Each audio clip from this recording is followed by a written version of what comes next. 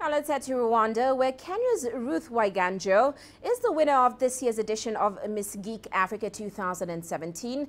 Now Waiganjo trounced her close competitors from Rwanda to win the competition, which is designed to encourage girls on the continent to participate in solving Africa's problems through technology. Now this year's Miss Geek Africa competition brought together eight girls from various African countries to pitch their projects before a high-level panel of judges, business leaders and hundreds of delegates from the information and computer technology sector.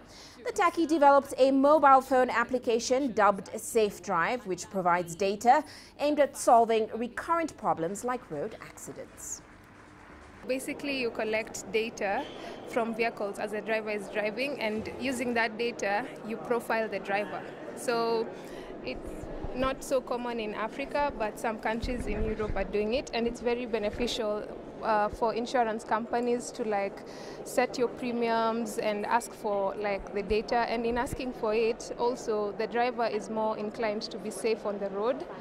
And even um, transport managers such as schools when hiring school drivers they can actually have data that shows what kind of driver they are on the road